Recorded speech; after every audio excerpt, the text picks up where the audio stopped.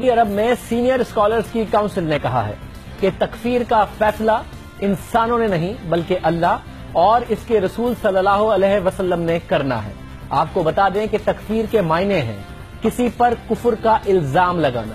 کسی کو کافر قرار دینا۔ اور یہ اہم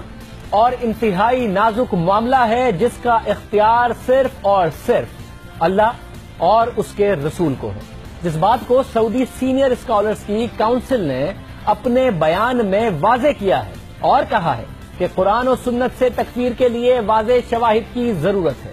سعودی علماء کا کہنا ہے کہ دنیا بھر میں انتہا پسند تنظیمیں بھی تکفیر کو بنیاد یاد بنا کر کسی کو بھی کافر قرار دے کر اپنی کاروائیوں کا جواز دیتی نظر آتی ہیں، چاہے وہ کاروائی مسلمانوں کے خلاف ہو یا غیر مسلموں کے خلاف۔ عرب نیوز کے مطابق دو روز پہلے سعودی سینئر اسکالرز کاؤنسل نے ایک بیان جاری کیا جس میں واضح طور پر کہا ہے کہ اسلام انتہا پسندی اور دہشت گردی کو مسترد کرتا ہے اور اس کی اسلام میں کوئی گنجائش نہیں۔ سعودی عرب کی سینئر اسکالرز کاؤنسل کے مطابق تکفیر ایک سنجیدہ موضوع ہے کیونکہ اس سے قتل و عام کو جواز مل جائے گا اور شادیاں اور وراثت رک جائے گی۔ سینئر اسکالرز کی کاؤنسل کے مطابق حکمرانوں اور حکومت کو اسلام سے باہر قرار دینا زیادہ خطرناک ہے کہ آپ حکومت کو یا حکمراں کو ہی اسلام سے باہر قرار دے دیں، اسی پر تکفیر نافذ کر دیں، کیونکہ